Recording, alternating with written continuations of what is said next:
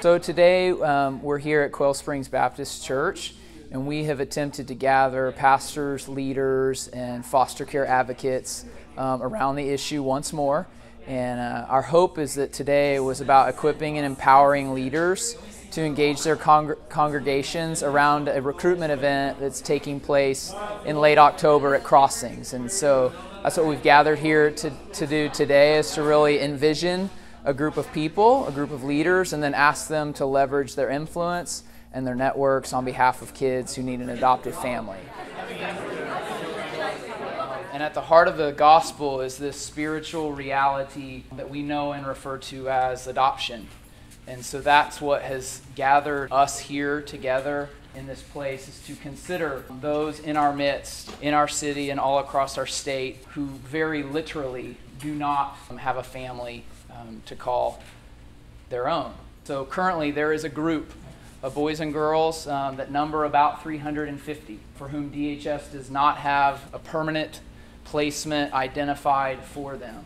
And so, without further ado, I want to introduce my friend Katie Overstreet with Focus on the Family to you. Would you welcome Katie?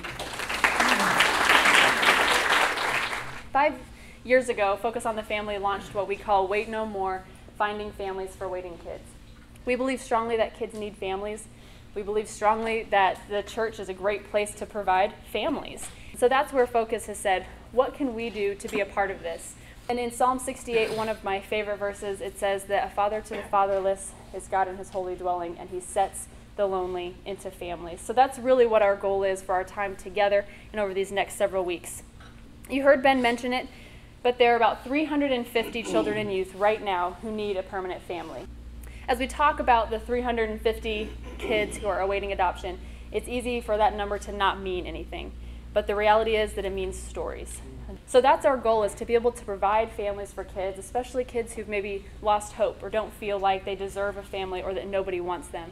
We want to help communicate to them that not just by our physical families, but by our, our Heavenly Father, that they are wanted and that they are loved. A big way that we're doing that next month is through an event. Wait No More Finding Families for Oklahoma's Waiting Kids. So, our goal for this event is for 100 families to initiate the process of adoption, which would be a big number. If you can imagine those 350 waiting kids, we want 100 families. This event is going to be on Saturday, October the 26th from 10 a.m. to 2 p.m. The first two hours, we'll have different speakers addressing the crowd, trying to address a lot of the myths and fears and concerns that families have. Then the second two hours, we've got different agencies and ministries that will all be on site. Those are local folks who are licensed and working here in this greater Oklahoma City region. We give families that chance to get started, get plugged in right away so that they can keep moving.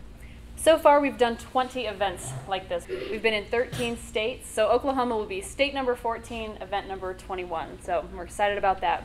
This really is a community wide effort to engage lots of different churches who might be calling people to at least consider what adoption might look like for them. But we would love for you to join us in this effort. If you visit our Facebook page at I Care About Orphans, it's just facebook.com slash I Care About Orphans, you'll see posts and things that we'll do about it. Feel free to share those.